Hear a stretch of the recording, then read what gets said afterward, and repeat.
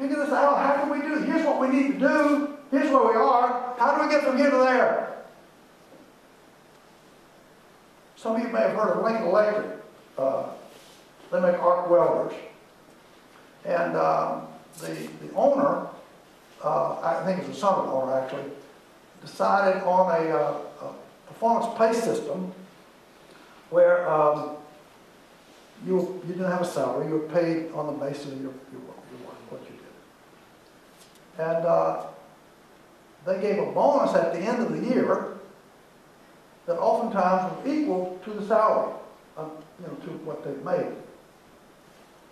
I mean, it was well known, if you go to the web and, and uh, search on Lincoln Electric, you'll, you'll see some of this.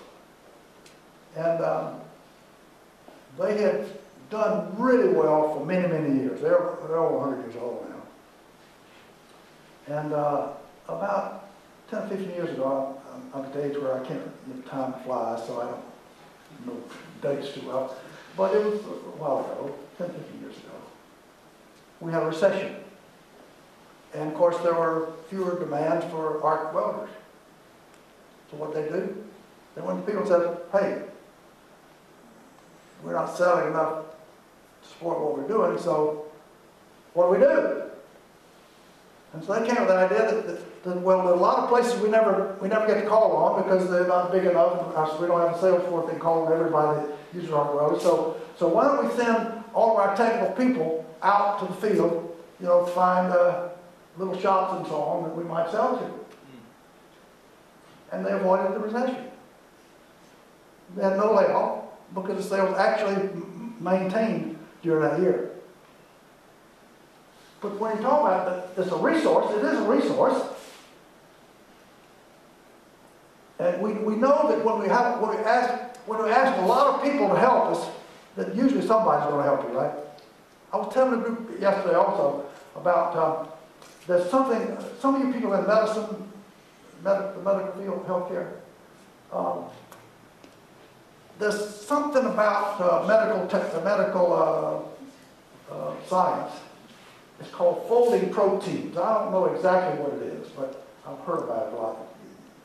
Something about being able to fold proteins. Now, you know, we're talking about microscopic, microscopic stuff. And, and they couldn't figure out how to do this with a problem. So what they did on the web, they said, hey, we're having, we're having trouble figuring out how to do this. And anybody that has an idea, let us know. Well, a woman in England solved the problem. Guess what her job was? She's a secretary. I mean, she advanced medical science dramatically. Well, how did she do that? Well, she loved working puzzles. You know, she did it in her spare time, and so over the weekend she took this problem and, and she solved it. I see, it really is a resource that is, is not used very much. I was, uh, we did a lot of work with Kodak, and their demise was not our fault, you know. but but uh, uh, they were a good client early on, and uh, um, there's a guy there who was, he was an Englishman actually, and, because I loved his accent. And uh, he had, he was a, uh, a line employee, he was an hourly employee, but he was uh, a step above the front line because he would step in for the supervisor sometime when the supervisor wasn't there. And uh, he, when we uh, started working with him, his manager told me, he said, I gave him your book. Now, it's, it's, it's, we call it the R Plus book, but it's a, it's a, it's a long book. You know, it's, it's used by universities more uh, now than any other business. And so it's like 300 pages. And uh, he read the book. He says he carries that book around like the Bible. You know, he's walking around and somebody asks him a question. He said, well, it's right here. And he, he would show him. And he used this with his team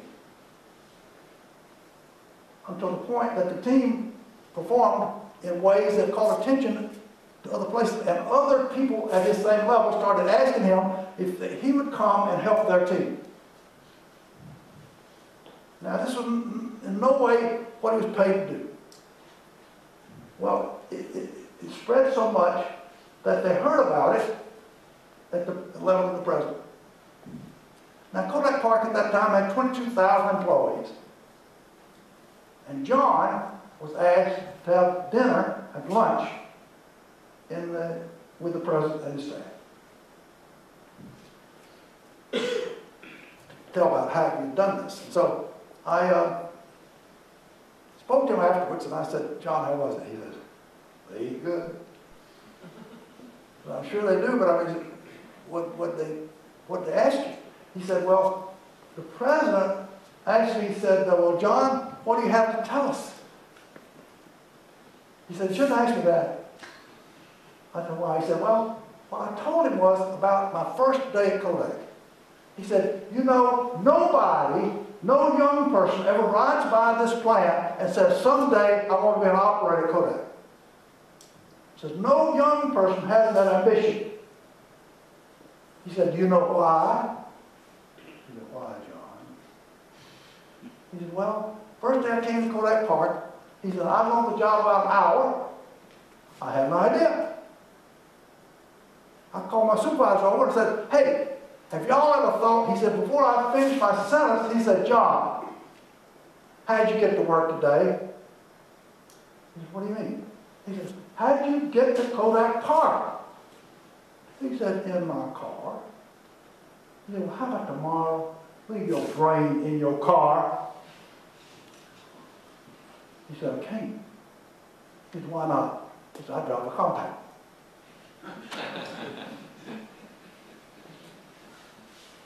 Now, I told that story to another one of our customers.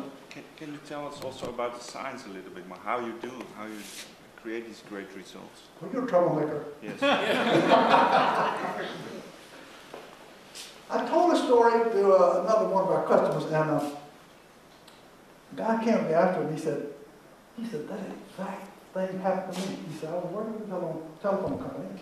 He said, on my first day, we were just, I was out installing a telephone pole. He said, and I had an idea. And he said, when I saw the supervisor come up, he wasn't with him, you know, he came up to the job site. And he, he said, I went out to meet him, that's first day. He said, hey,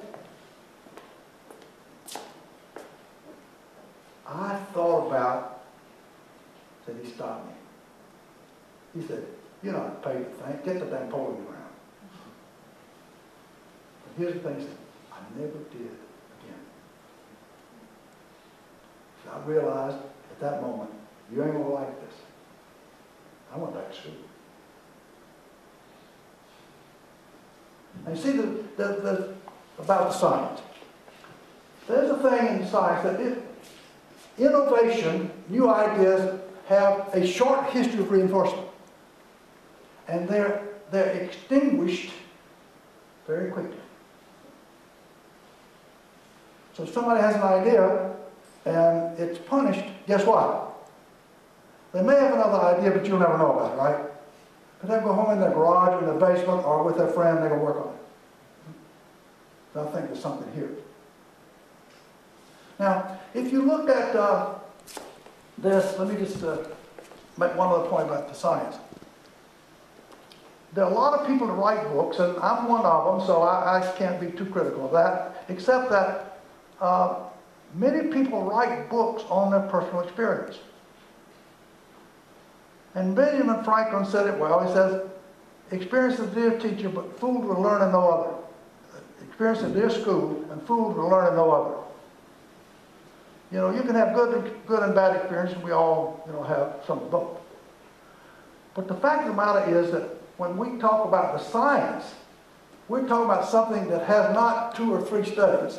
And we're talking earlier today about the idea that replication of studies is not, universities don't do this very often.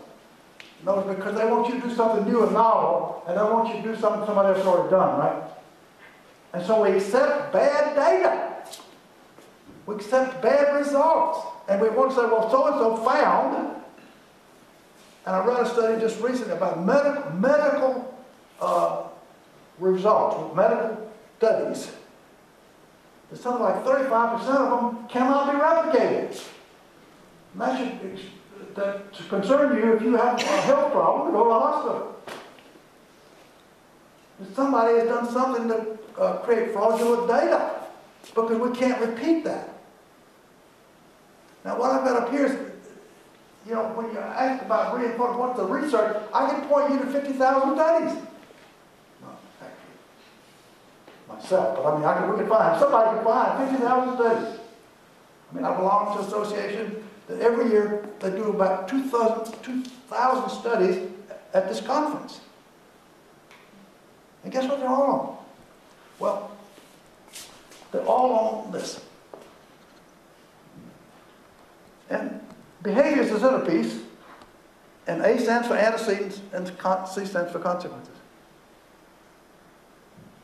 And this is, the, this year will be the 41st year we've been doing this. And every year we've had between one and 2,000 studies. So, and they're all about the same kind of thing. It's about, we, we, we know that reinforcement works, we know that consequences work. And so it's subtle change about can we make it more efficient, more effective, and tolerant? This, this is to behavior analysis what this is to physics. You see, a lot of people say, well, that's, you mean you can explain all behavior with A, B, and C? Absolutely. All behavior. Routine behavior, creative behavior, innovative behavior, funny behavior, uh, you know, whatever it is we want, is A, B, or C. Now, we don't know everything there is to know, because we, this year, we're gonna have a conference, I forget where it is, but there'll be two thousand more studies, at least. But we're learning more and more about it. Now, we know more, about the effect of reinforcement today than we did you know, years ago. But each study fills out the picture a little more, as you would in chemistry or physics. Right? Now, if you understand that antecedents or anything that comes before it tells you what to do, right? as a stop sign will tell you in uh, Amsterdam, I'm not sure what that means. a red light, what does the word red light mean? Hurry? Uh, but a stop sign is an antecedent for either hitting the accelerator or the brake to stop. Now, many people don't stop because the consequences they've experienced don't match the behavior desire, right? So there, there's a there's a, a, a consequence that's assumed that if you don't stop, something bad will happen to you. But guess what? Most of the time, it doesn't. You just get where you're going faster than if you'd stop for light. So people don't stop. Now you might say, well, you do. I do. Why doesn't everybody else stop? Well, everybody, remember, everybody's different from you. They've had different experiences with something as simple as stopping for a stop sign. See, you may have lived, you may have grown up in the country where uh, you can see all directions and there's no traffic and there's a stop sign there, but what do you do? You ignore it because you can, I can see there's nobody coming. So there's nothing going to happen to me. And so you come to the city and guess what? Even though you see things, you, you ignore that part of the environment and you go on. Now, so the closest thing we have, however, in other words, antecedents are variable in terms of producing behavior. Right? That sometimes we obey them, sometimes we don't, but it's always in terms of favoring you. Because you always have, like, you have an excuse for why I didn't stop, right? Well, I was in a hurry. Just like the guy that was stopped, I, this was a quote from somebody, a patrolman stopped, and said, why were you going so fast? He said, well, I was afraid I'd run out of gas. So I had to, you know, really go fast to get to the gas station. Well, we can always justify our behavior, but the fact of the matter is that we all respond to consequences in a way that's unique to us, that matches, matches our history.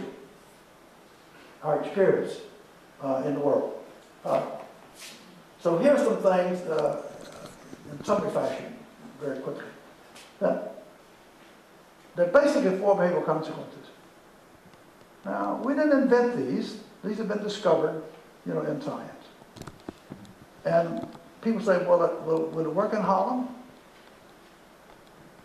Well, uh, do we have people in Holland? I think it will work in Holland. Yeah, I do. Wait, do you have, is your heart on the left or right side? Because you're, you're, you're Dut- Dutchlanders or whatever you call yourself. No, you don't call yourself Dutchlander. That's German, isn't it? But anyway, you know, you don't have your heart on the opposite side I do. In other words, I'd be, I'd be afraid to go to the doctor here because he might not know where my heart is. Because I'm an American. I'm a person first, right? So, you know, I go to the doctor here as comfortably as I would in the United States because I know you're going to find my organs in the same place. And the same thing with behavior. You respond to gravity, you respond to reinforcement, you respond to the effects of your environment. Just like we do everywhere else. So, if we look at, there are two ways, here's, here's a summary of some things that are important. There are two ways that we get people to do something more often. One is with positive reinforcement, the other is with negative reinforcement. Now, the difference between the two is that positive reinforcement is the only consequence that maximizes performance.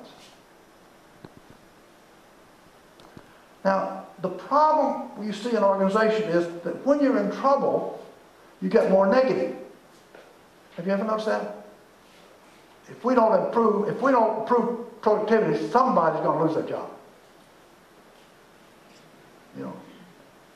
And, and but but it should be a time you see if you understand reinforcement that positive reinforcement accelerates the rate of responding. It accelerates the rate of responding. So what it does, if we're in trouble, what do we do? We need to be using positive reinforcement more frequently to cause that uptick in behavior. But we typically do things that cause behavior to go down when the time we need the most. I mean, that's how uh, rational we are, or irrational we want to stop behavior, then we have punishment and penalty. And punishment is where you get something you don't want. Uh, penalty is where you lose something you have. As a fine, you know, you, you, you speed and occasionally somebody gets caught and they have to pay a fine. No, you got money that they take from you because you did something you weren't supposed to do. And those two things stop behavior. So if you think about applying this in the workplace, if you want people to do something more often, then what we got to do is to find a way that they experience, that they experience positive consequences for what they do. Now, I don't have it up here, but ignoring behavior would cause what, do you think? Would cause people to do something more often or less often? It's called extinction. And so if, if you've reinforced the behavior to get it up and you stop, eventually the behavior will go down. It undergoes, the technical term would be, it undergoes extinction. Right? Huh? You lose attention. Yeah, yeah, well, you, you, you just, the behavior that was reinforced does not, no longer produces reinforcement, so you, you just quit. After time, I mean, it's like you, you try a vending machine or something and you put your money in and it falls back out. You put it in, it falls back out, and after a while you say, ah, it doesn't work. We see this kind of thing at work all the time. If, if I'm doing something at work and it doesn't produce any change in the environment, eventually I stop. Now, the good news you see for management is that this is all rational. And so much of what is written in the literature is very hard to implement. Say, well, you need to be more humble and tell a leader. You, you, humility is something you need to develop. Well, the question you should have is, what behavior are you talking about? What am I supposed to do? I learned lots of lessons early on uh, because I didn't have business training, and that probably might have been plus, I don't know. I was in a a textile mill, they were having real turnover problems. They couldn't keep people on the job because they were paying bad wages, the environment was noisy, and, uh, you know, a lot of negatives. And uh, so I'm talking to Howard, the plant manager. And he's telling me all his problems, you know, and, he's, uh, and I said, uh, doing my psychology self, you know, I said, uh, well, Howard, uh, what do you think you'll do? He looked at me and he said, hell, if I knew what to do, I wouldn't be talking to you. I learned, you know, I gotta be able to tell him, look, Howard, do this more often. Don't do that. Do this. And we're gonna track that and we'll see, is that occurring more or less often? So we'll know that do this more or do this less. Stop us doing. Now, uh, I could talk to you a long time about this, but the thing about it is, if you think about the first diagnostic is, do I want more of this or less of it? If I want more of it, then I only got two choices. I can do positive and negative reinforcement. Or less of it, I do punishment and penalty. Now the question for you, of course, is, wh- which one should I do? Well, here's the deal, and this is something a lot of people don't understand or believe. And that is that positive reinforcement gets more behavior than negative, even though negative reinforcement increases behavior, positive reinforcement is going to get more. And we call that a want to curve. That I do this because I want to, not because I'm afraid of what will happen if I don't. No, negative reinforcement is where you, you increase your behavior, you increase effort in order to escape or avoid some negative consequence. It might not surprise you, or maybe it does. Goal setting is typically a negative reinforcement procedure. Most people get, get to goal. The consequence of getting to goal is you avoid the displeasure of the management.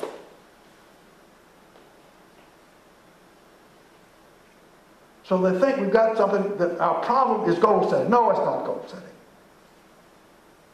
It's about the way you treat people. Now, in case my time runs out, which it probably is, let me just say, make sure you understand this. The worst advice you could ever give or get is always be positive. Positive reinforcement increases the behavior that precedes it. So if somebody has done something wrong, that's not the time to positive reinforcement. Now, my friends, my golfing buddies particularly, when we go on a trip, you know, eating at a restaurant, and they'll see a child misbehaving uh, at a nearby table, and it's like all heads turn to me. And the question I have is, well, how are you gonna, how are you gonna positively reinforce that? Because they, they think I'm like, I'm a positive, I spend positive stuff, you know, that, that I think all problems can be solved with positive. No, no, it can't. There's a time to be negative, a time to be positive, but it's important to know the difference, right? Now, as a parent, you know, I have two girls, and, and I guess people who know me know that they're aware, right? They got me wrapped right around the finger. They can get anything they want from me. And I can remember as a child, uh, I can remember them as a child.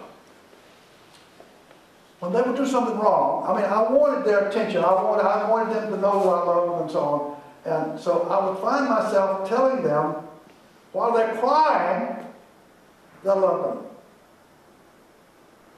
Because I I'd punch them in some way, you know, have a problem, something or whatever. And I wanted to know this was not the end of the world, and that Daddy still loves you. And well, I learned later, like people say to me, I wish I'd known this 20 years ago. I said, I've said the same thing. That is not the time to have that conversation. They've done something to displease me, so go cry, get it over with. But when you come out and change the way you behave toward your sister, then we're going to talk about how daddy loves you, right? Because you see, when they're upset and I tell them daddy loves you, you know what, what they think? You don't. You don't care a thing about me. Yeah. oh, I'm sure you've run across these sorts of things, right? So, what happens is, that reinforcement is most effective that is immediate. All consequences are most effective when they're immediate. And this is why, you know, you've heard catch, uh, phrases like catch somebody doing something, doing something right and so on. And it's true. You know, the best time to, to use consequence of any kind, positive or negative, is when the people are engaged in the behavior. Anytime later, you see, what can happen is if somebody does something at point A and you recognize it from, at point B, and there's a time gap, other behaviors can come into play, right?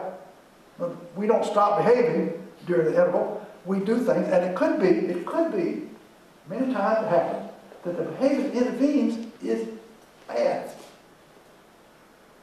And by the time we get around recognizing it, you know, it's the wrong behavior. Now this is why it's important, you see, for supervisors, and, and in some organizations that are training peers, we train everybody in the company sometimes, that they're in a, the employees are in the best position to catch other people doing the job. Right? So when they see somebody doing something that's helpful, particularly where the person had been helpful before, it's important that that behavior be- becomes recognized because that's the normal behavior of that person, and it has a short uh, life if it's not supported in some way by consequences. So peers are a good source of uh, effective, efficient reinforcement. Now, if, if you understand, you read terms like operant conditioning, uh, respondent conditioning, these sorts of terms, and they confuse people, but let me just make it easy to understand. Operant conditioning, B.F. Skinner used that, and, and basically what he meant was that any behavior that operates on the environment, in other words, by operating, it changes the environment in a way that's favorable to you is repeated. And one thing I used to do in the classes I would do, I'd say, I want you to write down the number of positive reinforcement. This is like first thing, 8 o'clock in the morning. I want you to write down a list of all the positive reinforcement you got since you got up. I what? I haven't, I haven't even been around anybody. Well, you didn't turn the water on? You see, the behavior of turning the faucet operates on the environment to produce something that's valuable to me in the moment, right? So what is the, what is the reinforcer in this case? The water comes out. I turn the handle on the door and push, and what I get? I get positive reinforcement. I get a, me- a positive immediate certain consequence. And so the next time I want to go out the door, I know exactly what to do. And so our environment is filled with consequences that change our behavior day to day. And the more you know about those, what they are and what people experience, then the more position you're in to cause people to do the kinds of things that the organization values. Um, see, uh, uh, let me just go this quickly.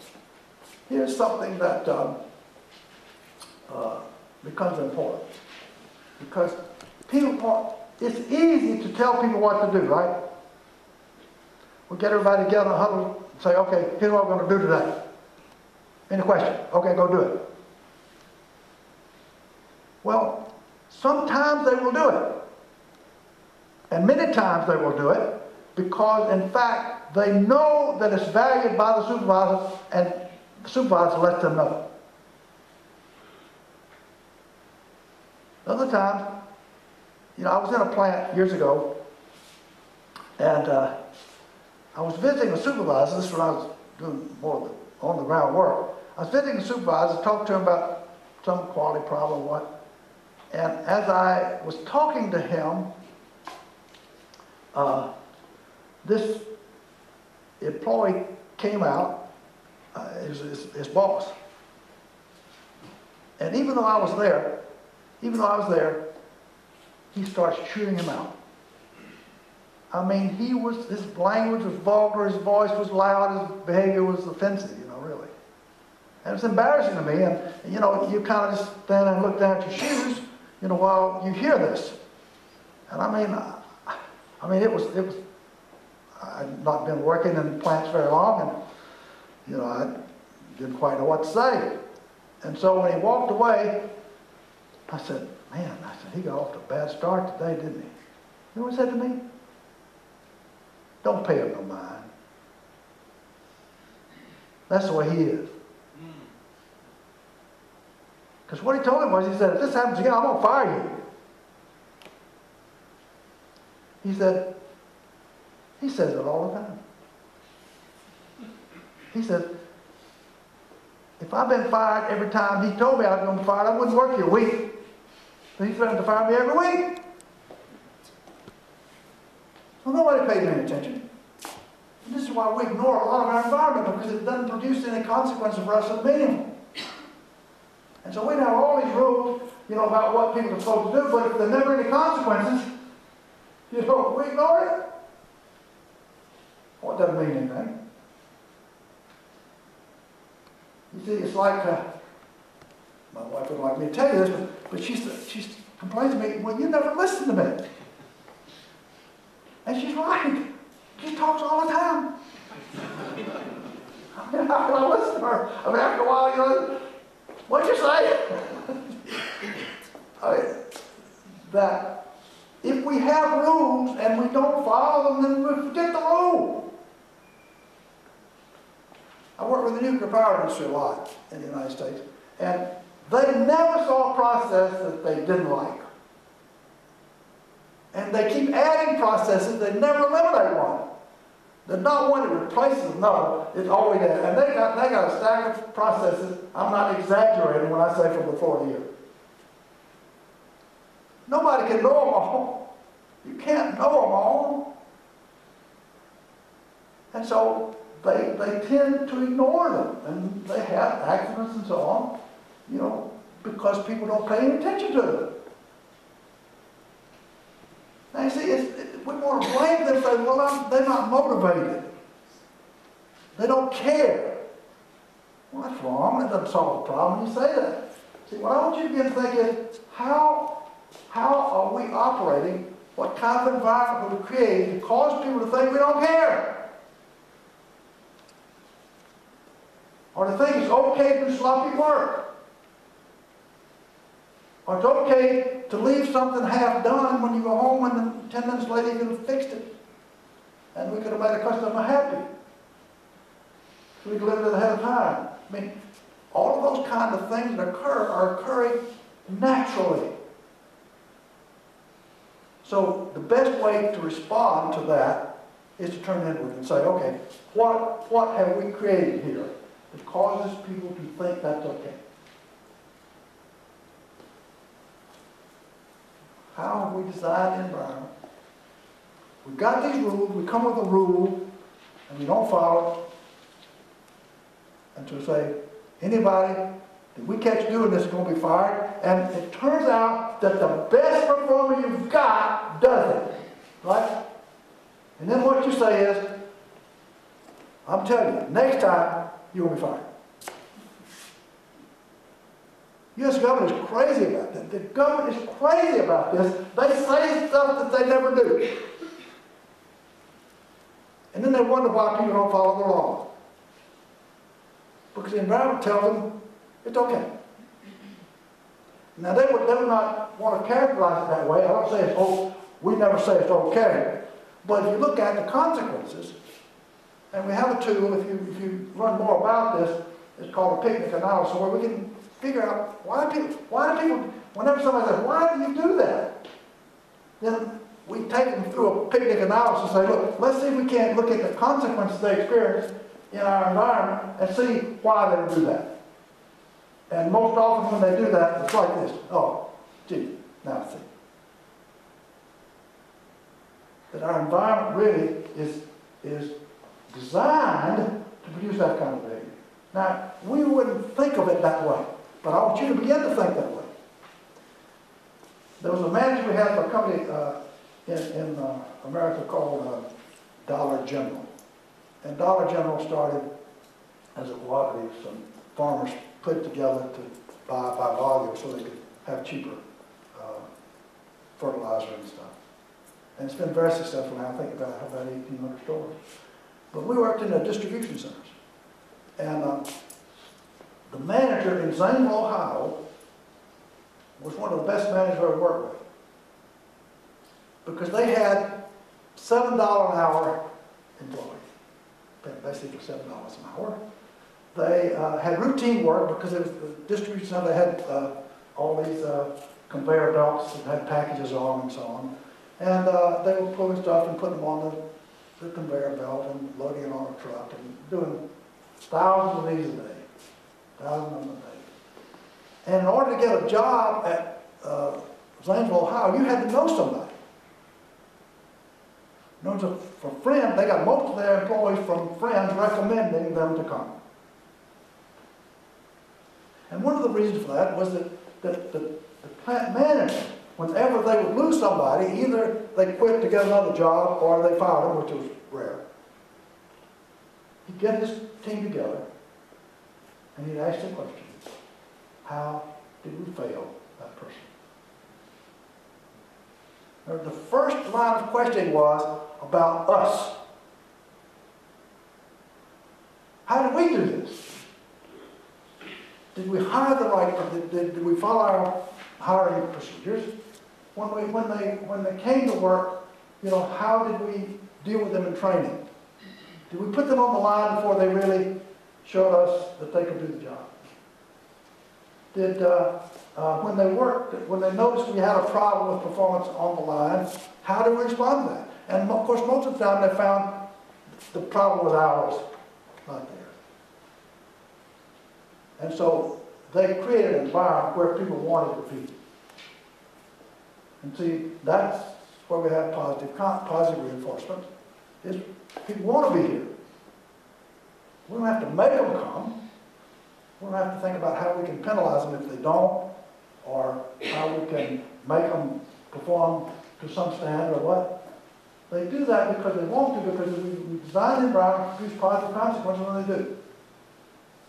Now, you see, most people think about positive consequences as something you put in your pocket.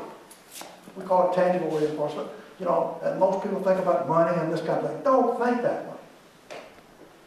Most frequent consequences are not anything that you could put in your mouth or, or your pocketbook. The most effective consequences are interpersonal. And it may be, it may be a smile. I like a smile, my wife. Uh, It may be a smile, it could be a thumbs up, it could be, you know, a lot of things. It costs you nothing.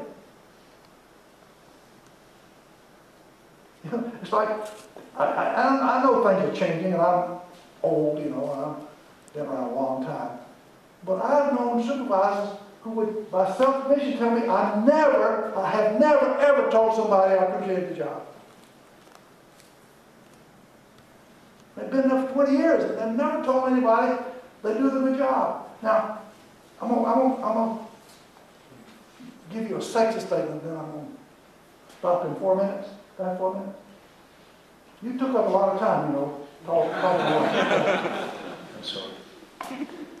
Uh, That women are naturally better at this than men. Now, that's not sex statement, it's just a fact. And I think it's because women are trained, not for this end, but just the natural part of the way little girls are taught. They're taught to notice things that men don't notice. You know, I have, my wife has taught me over the years that, you know, I, I don't notice things. And I'll, I'll blame it on hunter-gatherer or some kind of philosophy like that, you know, that I'm gonna go out and kill something and bring it into the family to eat for a month.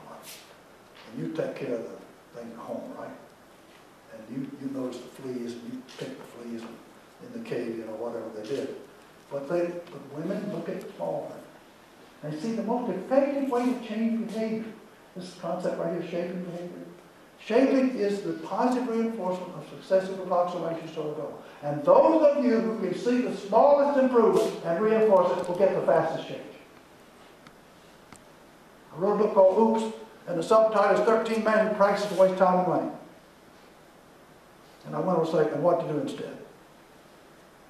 And stretch goals is number two. It's not number two, but it just happens to be number two in the book. And I mean, the people in the power plants just wanted to argue with me about that. I mean, and I knew they were, I knew they were going to fight. Because they just have this culture that you always set a stretch goal. Well, the data shows that stretch goals work less than 10% of the time. But somehow we have this belief that if we set a goal here, then we know that we know going to set it where the max is. So we want to say, well, let's set a stretch goal, and they set one up here. Well, it's like the goal is going to pull performance out of you. It's going to make you do something you wouldn't otherwise do if were not there. Well, if that's the case, that's negative reinforcement. So is the most effective way to set a goal is to set the smallest goal. Those of you who can see the smallest change and reinforce it will get the fastest improvement. Because remember, positive reinforcement accelerates rate of responding. So what that means is if you're in trouble, then you've got to figure out a way, how can we do this more often? How do we reinforce it more often? People say, well, can you do it too much? I said, you probably can, but don't worry about it. You're not even going to go. You won't come close. I'm 80 and I, I play golf as often as I can, which is not enough. And I can tell you that my, the fellows I've been playing with for many years now, never, ever fail to positively reinforce a good shot. Sometimes they'll even reinforce a bad shot, but they're going to say something about it. You know, I got a friend, he's big around and he is tall and Gene has what we call the ability to hit a double cheeker. And I'm not talking about these cheeks. And so when he hits one, he hits it a long way. And we call it a double cheeker. Boy, Gene, that was a double cheeker. Now, it doesn't even have to be in the fairway for us to say something positive about it. Like, man, boy, that'd have been great if it'd been in the fairway. I mean, way down there. it's in rough. And they'll say, boy, that was a good shot from that lie. That's a tough lie. You hit that really good. Now you take my friends and put them in the workplace. And it's like God struck them dumb. They cannot say anything positive work.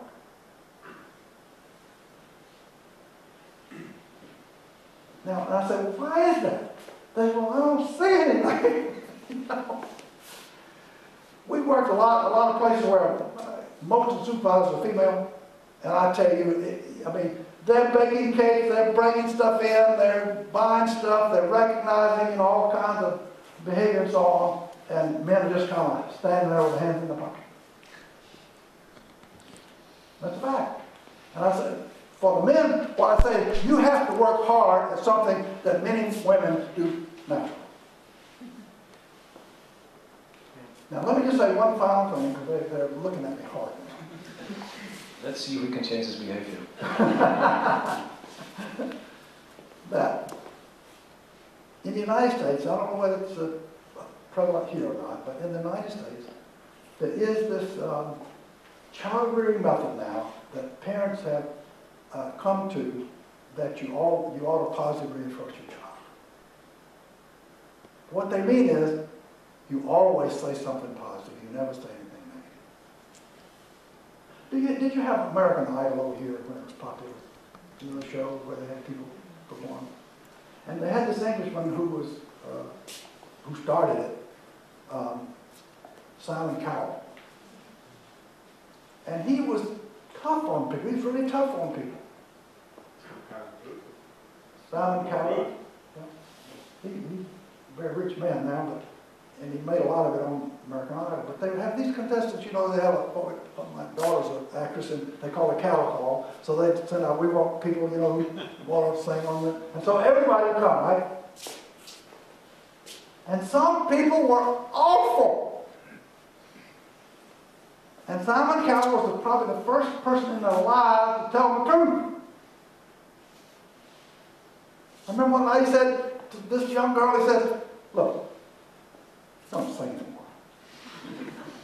He said, and what I mean don't sing anymore, don't even sing in the shower. and the girl started crying. And she said, but people at church love my singing. Like, you know, people think, well, I'm supposed to say something positive. Her singing was awful, and went, she's awful, isn't she? And they'd say, you know, oh I love you. Oh, voice. She's awful, isn't she? But the point is, she heard, they love my singing. And why don't you like it?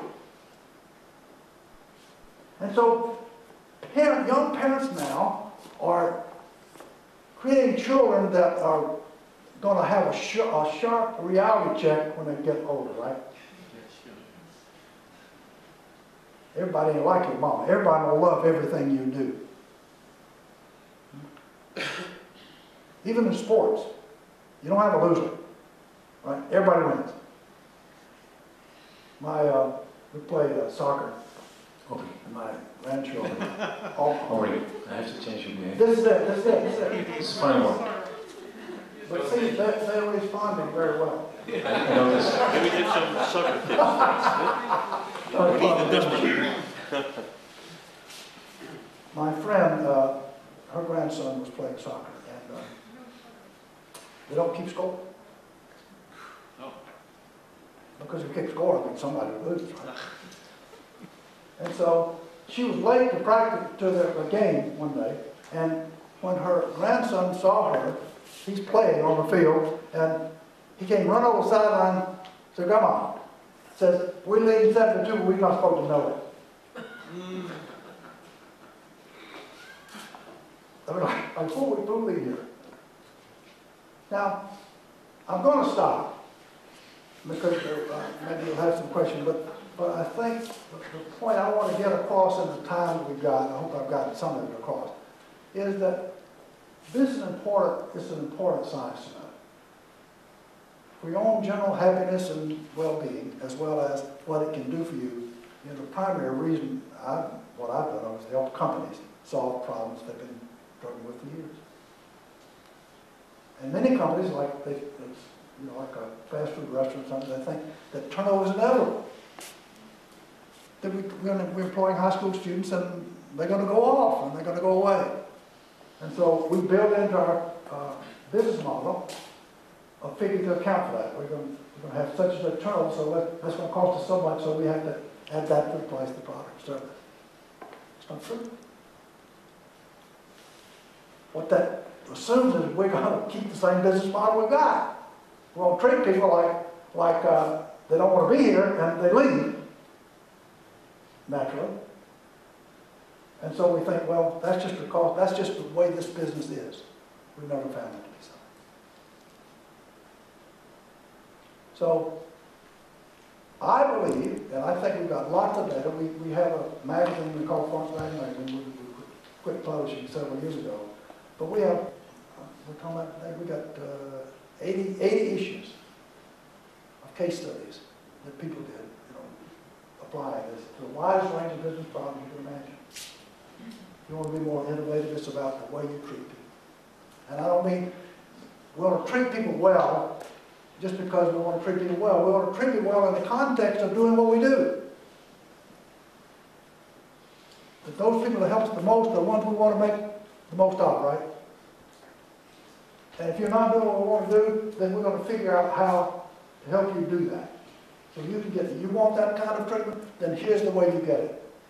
But you're not going to get it the way you're performing. Everybody understand that point? It's very important. And the way business operates today is that we want, we want to do things the easy way. What you think is the easy way, we're going to pay people the same, we're going to give people the same benefits and so on. That's a very expensive way to run a business. Because it doesn't produce the kind of results out the end that you consider to be valuable. I'm going to defy the laws of behavior now and stop. Give Aubrey a warm applause.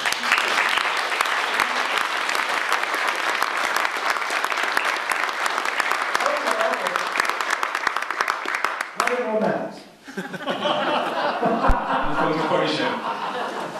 Aubrey, thank you very much. Um, you gave us a lot of lessons. In this 40 years of scientific behavior analysis. And uh, Aubrey managed it to explain to us uh, it in one and a half hours. But there's much more to tell, there's much more to experience, and much more to explore. So if you like to mm, uh, want to know more about this, um, I invite you to go to the restaurant, to the uh, to the bar, have a drink. Then we have a, a few books there. You can uh, look into the books. Um, and I suggest also that you are all uh, are around there so that you can ask, uh, or that you can, um, if you have some questions, then ask them and we can explain uh, those questions. And uh, for the last, we have a small present, or we, uh, MeerBusiness wants to give you Oh, she Present. oh, wow. A diamond ring, oh my God, in. you shouldn't have. Thank you very much. Oh, thank you, thank you, I appreciate it.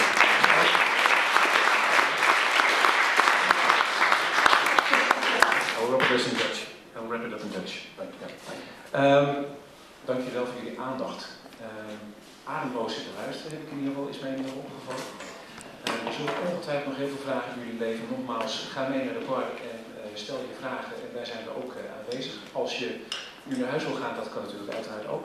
Als we naar de bar toe gaan, daar wordt in ieder geval drankje jullie aangeboden.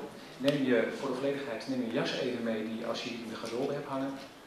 Want we komen hier verder eh, niet meer terug. Ehm, dank jullie wel voor jullie aanwezigheid. Eh wijs jullie voorgaan naar de, eh, naar de zaal toe, naar de, naar de bar toe. En eh, hopelijk tot snel ziens. 그렇죠.